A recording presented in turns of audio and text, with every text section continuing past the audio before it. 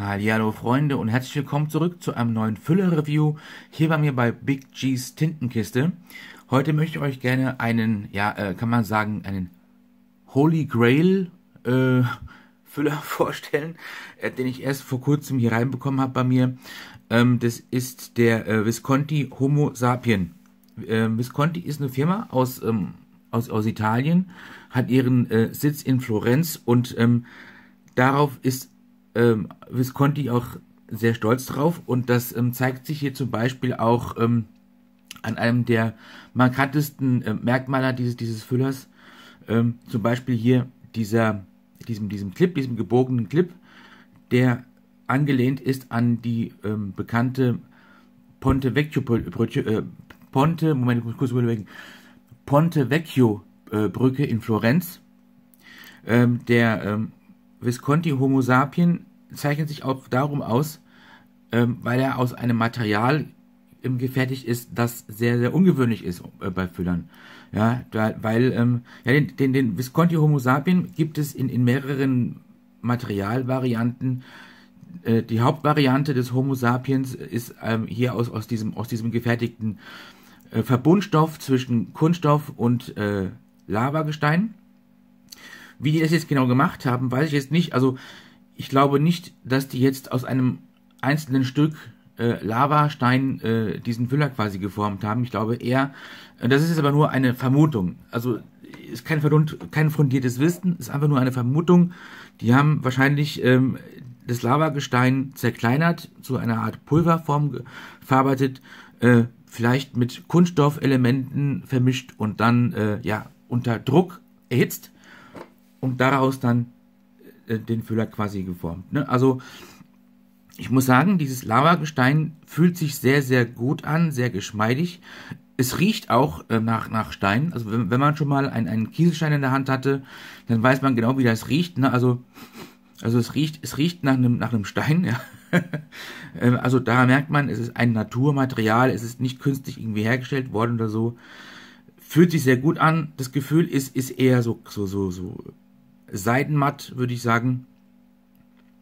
Und ähm, dieses Lavagestein, das ist äh, feuchtigkeitsabsorbierend, sagt man dazu. Ne? Also ähm, gerade für, für, Leute, die, die, die schwitzige Hände haben, die werden diesen Füller mögen, weil dieses Lavagestein äh, absorbiert diese Feuchtigkeit und ähm, zeigt dann quasi auch so seine schönste Seite des Füllers, nämlich dass wenn dieses Gestein diese Feuchtigkeit ähm, eingesaugt hat, ne, dann färbt es sich dunkler, als dieses Gestein eigentlich ist. Ne? Also ich bin, ich habe den Füller ähm, bekommen von, von äh, Stefan von Diamine, der auch in Deutschland Visconti äh, vertreibt, auch äh, wie auch äh, Sailor ähm, Füller und auch die Tinten unter anderem.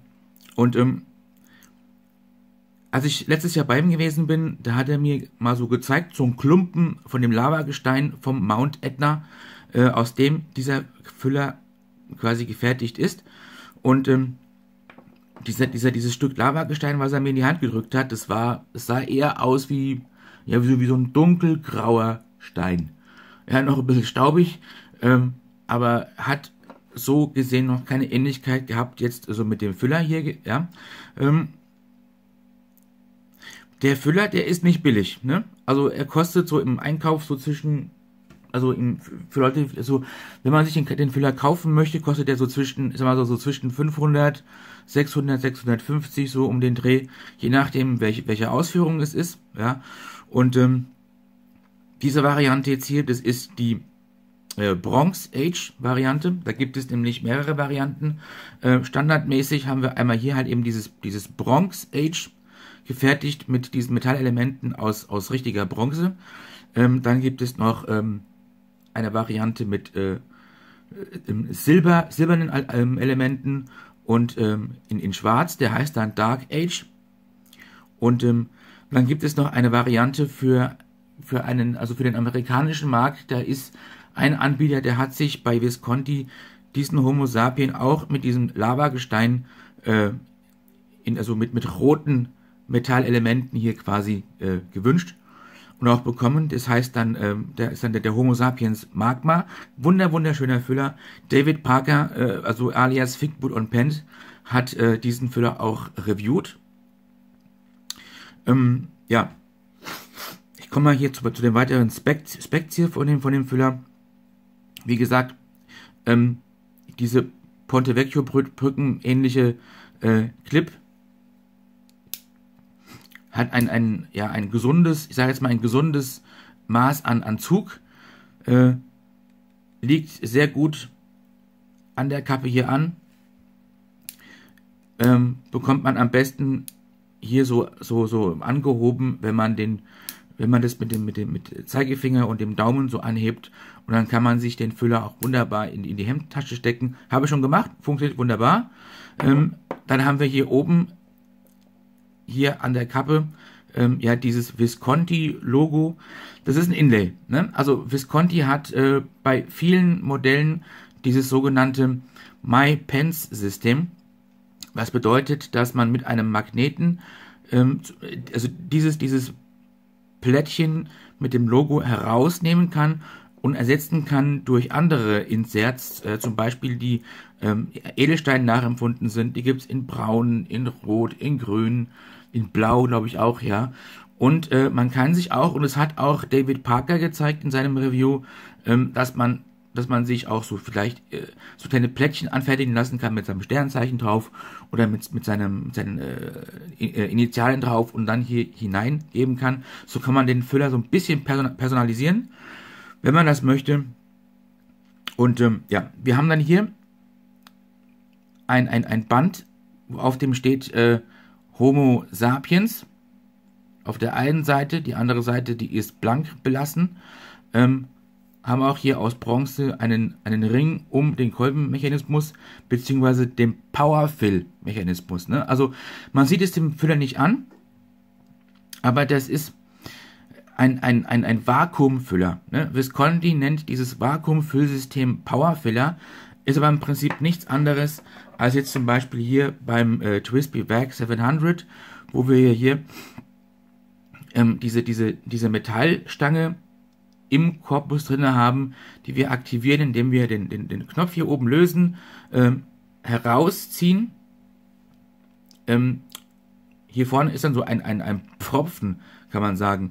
Denn wenn man nach hinten zieht, ähm, quasi hier Luft freigibt und wenn man dann ähm, die Feder ins Tintenglas hineinsteckt und den, den Pfropfen an der Stange wieder zurückdrückt, entsteht hier äh, im Korpus ein, ein, ein, ein Unterdruck, äh, wodurch dann, wenn es sich ab einem bestimmten Punkt im Korpus entlädt, ähm, saugt sich dann quasi die Tinte in den Korpus mit hinein. Ja? So.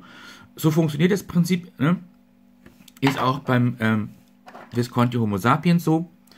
Ähm, leider sieht man das jetzt hier nicht, weil es halt kein durchsichtiger äh, Schaft ist, aber es funktioniert wunderbar. Und äh, wenn man jetzt hier die, die Kappe entfernt, ah, die Kappe, das, dieser Kappenschlussmechanismus ist wunderbar. Also, die meisten kennen ja so diesen, also es gibt entweder dieses, dieses System, ne, mit, mit dem aufstecken und äh, also abstecken und aufstecken, ja, wie hier bei diesem Füller, dem Nami 2000, oder halt eben einen, einen Schraubmechanismus, äh, wie hier beim Pelikan M1000, wo man, wo man eine ganze Drehung, mindestens eine, eine ganze, also eine ganze Drehung machen muss, oder mehr, oder auch ein bisschen weniger. Und ähm, Visconti hat ne, dieses, dieses Hook-Safe-System. Das bedeutet, die haben hier ähm, an dem Griff der je nachdem, wer, wer den Füller benutzt, ähm, gerade richtig oder auch vielleicht ein bisschen zu kurz ist, kommt auch darauf an, wie man diesen Füller hält. Äh, kann unter Umständen so ein bisschen störend sein, äh, wenn man den Füller ein bisschen weiter hier so greift, eher so, eher so mittig. Da kann man sich dann auch durch diese, äh, durch diesen Mechanismus so ein bisschen gestört fühlen, sage ich mal, ne? Ähm, wer bei den Füllern dann weiter sowieso hier, eher hier so hält, ne, wie es eigentlich soll, für den wird dieser Füller wunderbar funktionieren. Ähm, ja, dieses, dieser Mechanismus funktioniert einfach so, man hakt es hier ein und schließt es. Ne? Dann, ist das, dann ist das hier mehr oder weniger fest. wenn man das äh, wieder lösen möchte, äh, einfach durchziehen, öffnet sich das nicht. Ne? Also man muss die Kappe ein bisschen drücken und dann kann man den Füller quasi mit vielleicht einer Viertelumdrehung öffnen. Und das finde ich wunderbar, ne? weil das Öffnen das funktioniert dadurch super schnell, super einfach und sehr zuverlässig. Ja. Der Visconti Homo sapiens, das ist jetzt so eine, eine das ist jetzt so die, die neuere Version. Ne? Also die eine alte Version des Visconti Homo sapiens, äh, die wurden ausgeliefert mit einer 23 Karat Palladium Feder, ähm, nannte sich auch Dream Touch Feder. Ähm, Visconti hat das geändert. Mittlerweile liefern die den Füller aus mit einer 18 Karat Goldfeder. Ähm, ich vermute mal, das hat auch den Hintergrund, weil, weil es mit der Palladiumfeder gab es immer wieder Schwierigkeiten. Ja, oft war sie überpoliert äh, und ähm, hat Aussetzer gehabt, ganz schlimme Aussetzer, was ja für die meisten Leute ein sehr, sehr großes Problem ist. Ein, ein, und ein, ein Grund, den Füller nicht zu kaufen. Ähm, und der Füller war bekannt, gerade mit dieser Palladiumfeder, übermäßig flüssig zu sein. Also das heißt, also wenn man damit geschrieben hat, kam einem der Füller vor wie so ein richtiger Tintenverschwender. Ja, und das, das hat sich verändert, ne? Also ähm, mit dieser, mit dieser Goldfeder hat sich das, das, das, das verändert. Da hat ähm, Visconti sich auch ähm, verbessert. Genauso wie auch ähm, Visconti es in den Griff bekommen hat. Vorgängermodelle hatten auch so den Ruf, dass sie gerade hier an diesen, an diesen äh, Kanten schlecht verarbeitet waren. Dann war es noch eher rau und äh, fransig. Ähm, fransige Stellen hat man da gesehen. Das hat zumindest bei dem, bei dem Objekt, also bei diesem Füller, den ich jetzt hier habe, habe ich das Gefühl, es ist wesentlich besser geworden. Also es ist viel, viel besser verarbeitet, ne? So, und bevor es losgeht, noch so einen kleinen äh, ja, Füllergrößenvergleich. Einmal hier, ne, Visconti Homo sapiens, Bronze Age. Dann, äh, wenn ich ihn jetzt so vergleichen wollen würde mit so ein paar anderen äh, Füllern, ich gehe jetzt mal so in dieses Standard, Standardmaßfüller, ne? Dann haben wir hier einmal den, den äh, Twispy, Twispy Eco. Schon gezeigt vorhin, ganz kurz, der Lamy 2000. Dann ein Pelikan Souverain M800.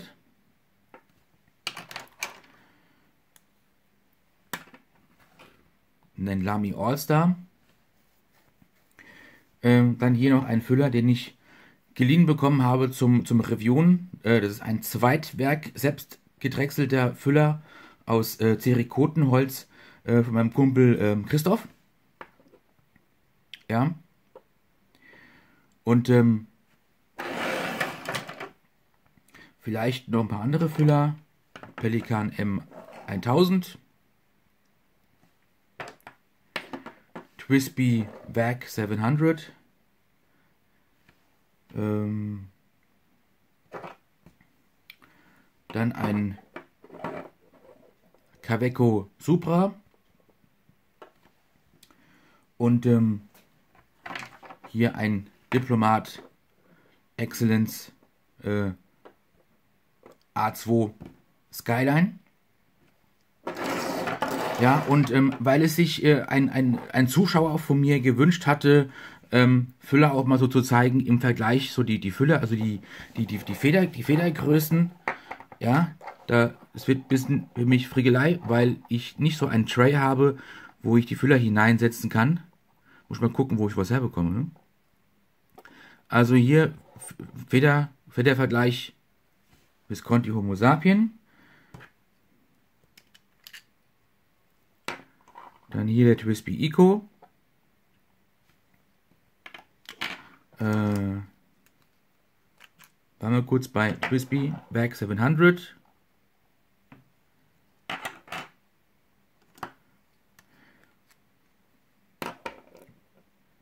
Pelikan M1000. Ja. Dann nehmen wir noch einen Lamy All-Star.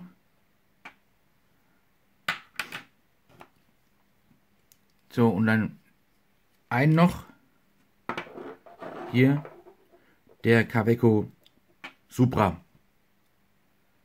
Ja, also ist das, äh, lieber Abonnent, lieber Zuschauer, ist das so, wie du dir das vorgestellt hast? Ja, gib mal Feedback. ja, so. Jetzt dauert das einen Moment. Das ist halt der Nachteil, ne?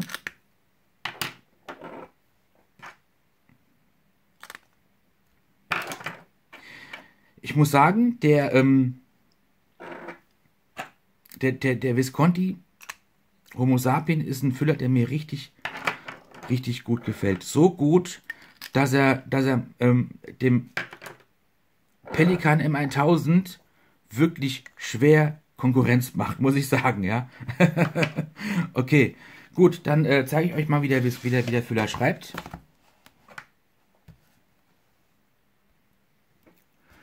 Ja. Ähm, die Kappe ist übrigens aufsteckbar. Ähm, ist, finde ich persönlich aber nicht so praktikabel, einfach weil, weil die Kappe ja selbst auch aus diesem Lavagestein ist, ein gutes Gewicht mit sich trägt und äh, den Füller auch so ein bisschen so aus der Balance bringt. deswegen würde ich vorschlagen, das mache ich sowieso bei dem Füller immer lieber ähm, umgekippt. So. Dann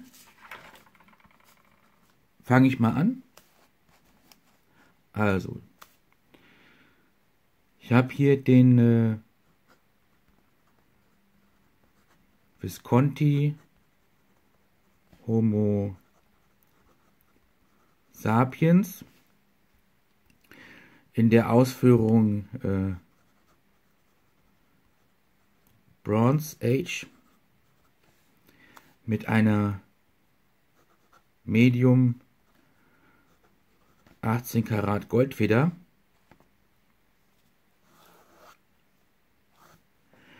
Die Tinte, das ist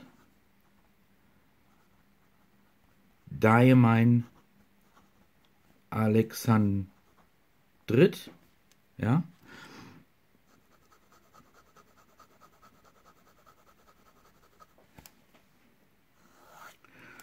Mal so ein kleiner Testsatz.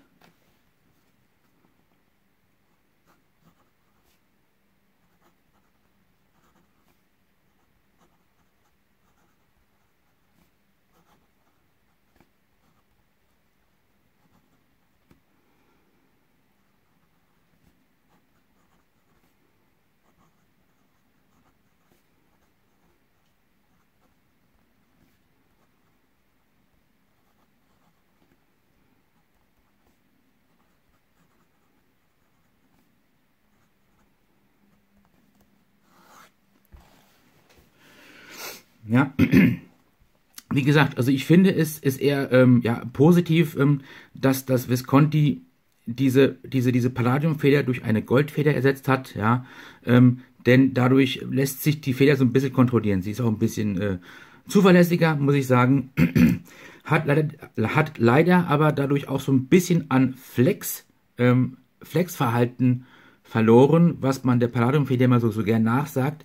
Diese Goldfeder, die lässt sich zwar auch noch äh, recht stark ähm, flexen. Ich möchte, ich möchte das jetzt hier aber in der Demonstration jetzt nicht übertreiben, äh, weil ich habe das ja bei meinem Pelikan im 1000 mal übertrieben und dann musste ich ihn zum äh, lieben Mislav Lukaczewicz, Lukaczewicz äh, schicken äh, nach Österreich zum Reparieren und äh, das möchte ich jetzt in diesem Fall äh, mir ersparen.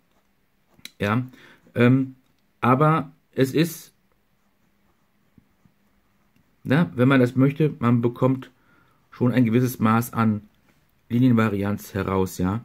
Ähm, die, die, die alten Visconti-Federn aus Palladium, die hatten so den, den Ruf, richtige, wie gesagt, ne, schon so richtige Tintenvergeuder zu sein. Äh, durch diese Goldfeder hat sich das so ein bisschen erübrigt, ne. Also sie, äh, sie lässt zwar immer noch ähm, genügend, genügend Tinte durch, ja, aber es hält sich jetzt im Rahmen, ja, so. Und ähm, was so die Zuverlässigkeit betrifft, ich habe mit, mit diesem Füller, also ich habe ihn jetzt, ich benutze ihn jetzt schon seit, seit ein paar Tagen und ich hatte jetzt nie, wenn ich jetzt den Füller normal verwendet habe, in meiner normalen, natürlichen Schreibvariante, äh, also im Winkel, wie ich den Füller halte, nie Aussetzer gehabt, ja. Ähm, das hat man jetzt gerade gesehen. Ich hatte jetzt hier an irgendeiner Stelle, war es habe ich kurz Aussetzer gehabt. Ähm, liegt einfach daran, weil wenn ich in meiner natürlichen Haltung äh, so schreiben würde, dann ähm, würde das, das, das Bild hier sehr schnell äh, also verschwommen werden. Und ähm, um das zu vermeiden, halte ich den Füller meistens so, ja, und das verändert wiederum mein, mein, mein Schreibverhalten äh, beziehungsweise den Winkel und darum kann das dann halt eben passieren. Ne? Also der Visconti ist nicht überpoliert, der ist, der hat kein, kein Baby's Bottom oder sowas, ja. Ähm, das Einzige, was er hat, ja, das hört man, ein bisschen, ein bisschen Feedback, ja. Ist aber, und das möchte ich gerne noch einmal betonen, Feedback ist nicht kratzen. Ja, also viele Leute, die, die mögen das nicht, wenn ein, wenn ein Füller äh, kratzt. Ich mag das auch nicht. Aber viele Leute verwechseln auch Kratzen mit einem Feedback. Ne? Feedback ist einfach nur ähm, der, der Sound, den die Feder auf dem Papier verursacht, wenn man damit schreibt. Ja, und ähm, selbst das ist für viele Leute ein, ein großes Problem. Ich muss aber auch dazu sagen, um jetzt mal so ein bisschen so die Hersteller äh, in Schutz zu nehmen, die Hersteller, die machen das meistens so, wenn die eine, eine Feder anfertigen und auch bearbeiten, bevor sie, bevor sie den Füller ausliefern, die müssen immer von einem gewissen Punkt aus äh, anfangen. Ja? Also man muss immer bei einer Feder ein gewisses Maß einstellen, sage ich mal, weil der Hersteller kann nicht wissen, ähm, welche Vorlieben derjenige hat, der den Füller sich kauft. Ja? Die einen mögen Feedback, die anderen wollen es, dass es super arschglatt, smooth ist und ähm, so diese Wünsche zu erfüllen, ist schwierig. Ja? Deswegen, deswegen äh, macht es sowieso eigentlich jeder, ähm, gerade die Leute, die sich so einen Füller kaufen. Ne? Wie gesagt, der Füller, der ist nicht billig und ähm, je, jemand, der sich diesen Füller kauft, der ist in der Regel schon ein bisschen länger in diesem Hobby mit drinne und ähm, weiß auch schon, wie man eine Feder bearbeitet, ähm, dass man sie ein bisschen flüssiger macht, ein bisschen, ein bisschen trockener macht, ein bisschen smoother macht oder was auch immer. Jeder hat ähm, ein Stückchen, ja, so 12.000er ähm, Schleifpapier zu Hause und bearbeitet sich die Feder dann sowieso, so wie er es gerne hätte. Auch der liebe Stefan von Visconti, ne, Deutschlandvertrieb, der benutzt seine eigenen Füller ja auch, die er auch verkauft. Ähm, und er selbst, er hat auch von Aurora so ein Stückchen Schleifpapier immer in seinem Büro, das, das, er, das er immer herausholt, um die Feder so zu bearbeiten, wie es für seinen eigenen Geschmack halt gegeben ist. Ne? Er mag sie auch immer sehr, sehr, sehr, sehr smooth. Und ähm, darum empfinde ich das, wenn ein Füller ausgeliefert wird, gerade wenn er in diesem Preisbereich liegt, ähm, dass er noch ein gewisses Feedback äh, gibt, finde ich als absolut normal und auch absolut vollkommen in Ordnung. Denn wie gesagt, ein Hersteller, der Hersteller, der kann nicht wissen, ähm, bei diesen vielen Anzahlen an, an, an Kunden, wie man die Feder am liebsten hat. Ne? Deswegen schleifen die das und polieren die das auf ein gewisses Maß als Basis. Ja, und jeder, der sich diesen Füller dann kauft, muss natürlich dann auch schauen, dass er sich die Feder so bearbeitet, wie er es am liebsten hat. Ne? Ja, gut. Ähm, um natürlich auch nochmal die Tinte zu zeigen im Vergleich. Einmal hier der Swap von, das ist so eine, das ist so eine, eine äh, Special-Tinte gewesen von Pure Pants in, äh, in England. Wird auch nur vertrieben. Im Moment sogar immer noch, ja. Also man bekommt die Tinte nur bei äh, Pure Pants oder auch Nietzsche Pants. Das ist so ein, ein, eine, also eine Marke, eine Firma. Und ähm, verglichen mit Diamine Smoke on the Water, verglichen mit Diamine Aurora Borealis, verglichen mit Robert Oster Fire and Ice, verglichen mit KWZ Azure Nummer 4, verglichen mit Pilot Iroshizuku Kujaku und verglichen mit Diamine Papierstift A Night in Jodhpur. Es ist eine wunderschöne Farbe, ist eine Schienentinte, ähm, die mir sehr, sehr gut gefällt und wie ich finde auch äh, so ein guter Match ist äh, zum Füller. Ja, ansonsten kann ich vielleicht noch erwähnen, ähm, wenn man diesen äh, Bronze Age, diese Bronze Age Variante sich, sich kauft, ne, also das gibt es aber nur bei dieser Variante, dass, dass man, wenn man sich diesen Bronze Age äh, kauft ne, mit diesen Bronze-Elementen hier, wird er normalerweise immer ausgeliefert mit einem, mit einem Poliertuch. Ne? Der Hintergrund ist einfach der, ähm, es gibt Menschen, die mögen das, wenn, wenn, wenn, wenn Metall äh, eine gewisse Patina bekommt. Ne? So, wer das nicht möchte, wer dieses Metall immer schön neu und glänzend und mit einer frischen Farbe äh, genießen möchte, der braucht halt eben so ein Poliertuch, ähm, um Fingerdatscher hier oder was auch immer wieder zu entfernen. Und ähm, es gibt unter den Leuten, die einen, einen, einen Homo sapiens Bronze Age haben, so eine Art, hat mir der Stefan gesagt, äh, so eine Art Wettbewerb.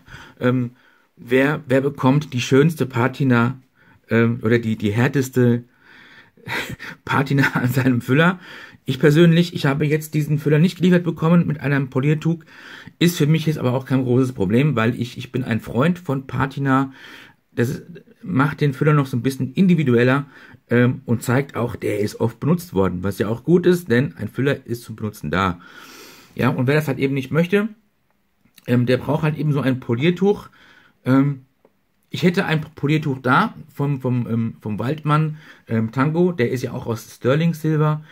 Den muss man auch damit einigermaßen äh, polieren, ab und zu mal. Und äh, könnte ich machen auch damit hier bei diesem Füller. Äh, wie gesagt, ich mache es jetzt nicht. Aber normalerweise wird der Füller ausgeliefert mit einem Poliertuch. Ne? Okay, Freunde, ich glaube, damit habe ich ähm, euch ähm, alle Elemente des Füllers gezeigt. Ähm, damit bin ich auch schon wieder am Ende für heute. Ähm, ich hoffe, es hat euch gefallen. Ähm, vielen herzlichen Dank fürs Zuschauen. Vielen herzlichen Dank fürs Zuhören.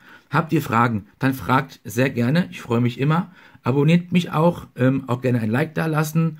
Folgt mir auch auf Instagram. Verlinkt habe ich das in der Beschreibung.